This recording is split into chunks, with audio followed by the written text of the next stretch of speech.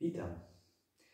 Jednymi z najcenniejszych obiektów kolekcji Zamku Królewskiego są dwa oryginalne obrazy Rembrandta van Rey, największego mistrza holenderskiego XVII wieku. Dziewczyna w ramię obrazu i uczony przy pulpicie. Oba namalowane w technice olejnej na deskach topolowych, sygnowane i datowane na rok 1641.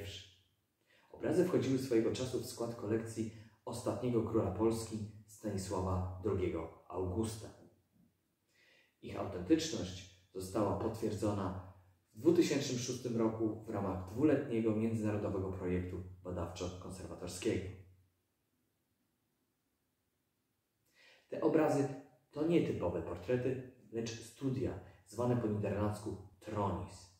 Tronis, szczególnie popularne w sztuce holenderskiej XVII wieku, ukazywały pojedyncze półfigury, popiersia lub głowy. Chociaż bazowały na modelach, nie miały one oddawać podobieństwa konkretnych osób. Służyły jako studia określonych wyrazów twarzy, typów urody albo jako wprawki w oddawaniu faktur. I właśnie mamy tu przykład takich tronis.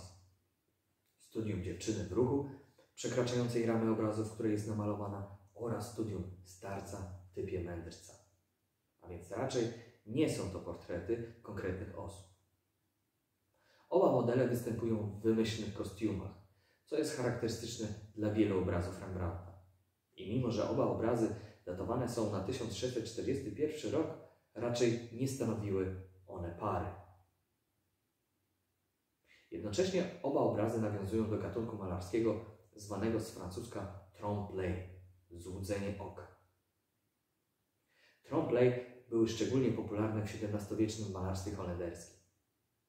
Celem tego typu obrazów było wywołanie jak najsilniejszego złudzenia trójwymiarowości przestrzeni poprzez zatarcie wrażenia granicy pomiędzy namalowanym a realnym światem.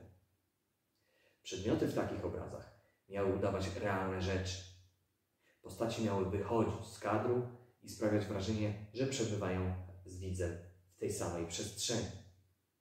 Gdy złudzenie w końcu pryskało, miał pozostać podziw dla malarskiego kunsztu.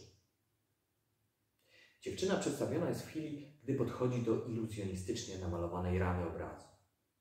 Jej twarz pozostaje w półcieniu beretu. Światło skupione jest na dłoniach wychodzących przed lice obrazu.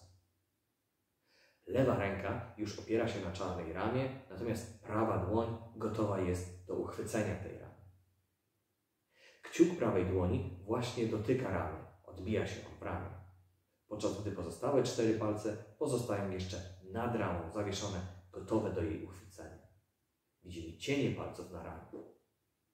Z kolei na dłonie i ramię rzuca cień bok ramy.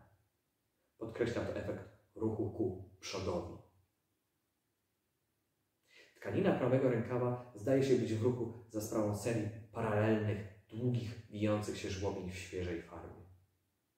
Ciało i ramiona dziewczyny zwrócone są lekko w lewo, potęgując wrażenie przybliżania się prawej strony ku ramię. Ruch postaci jest już prawie dokonany, ale wciąż widzimy efekty tego ruchu.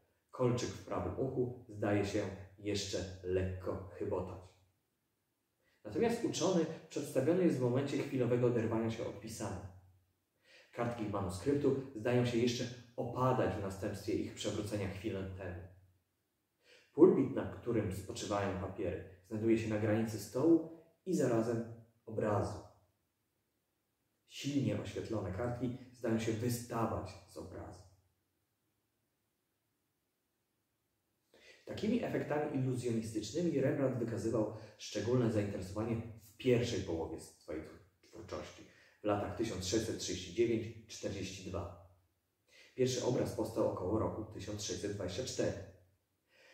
Te efekty wykorzystywane były w dziełach na zamówienie z tego okresu, w tym portretach. Te wczesne iluzjonistyczne poszukiwania artysty dobrze podsumowuje inny słynny obraz artysty Straż Nocna, obecnie Brix Museum w Amsterdamie, wykonany w 1642 roku, zaledwie rok po obrazach warszawskich. Później Rembrandt zaczął wykazywać większe zainteresowanie innymi efektami, próbując pod koniec życia oddawać rzeczywistość za pomocą gęstych, przenikających się plam farby, czytelnych jedynie z daleka.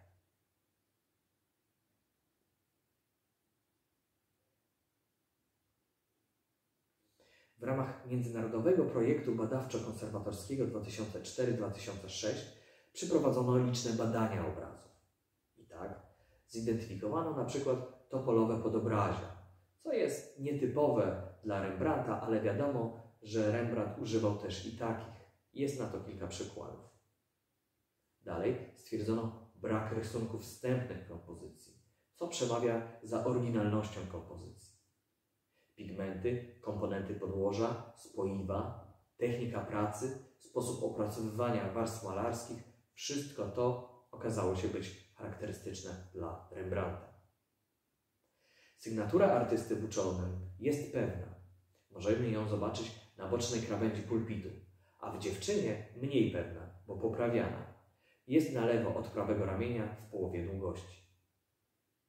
Obecne były liczne berniksy, retusze, przemalowania, wymagające usunięcia. Wykonano też interesujące rentgenogramy malowideł. Pokazują one, co jest pod warstwą malarską. Możemy je zobaczyć z tyłu gablot, w których e, prezentowane są obrazy na Zamku Królewskim. Przypadku dziewczyny ujawniają wykonaną czarną farbą szkic rozpoczętego wcześniej innego portretu kobiecego z głową i dużą kryzą, inaczej zakomponowanego.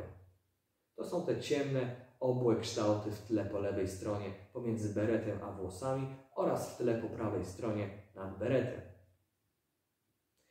Ten ślad szkicu stawał się coraz bardziej widoczny gołym okiem. Farba ma taką właściwość i z czasem staje się coraz bardziej transparentna. Co było przyczyną późniejszych przemalowań i zniszczeń? Szczególnie zniszczenia dotknęły stroju dziewczyny. W przypadku uczonego nie widać kompozycji, nie licząc złotego łańcucha malowanego bielą ołowiową i kartek manuskryptu. Biel ołowiowa ma to do siebie, że jest wychwytywana przez promienie rentgenu. Dodatkowo ujawniają się drewniane deski z sękami i plamy po pieczęciach lakowych poprzednich właścicieli.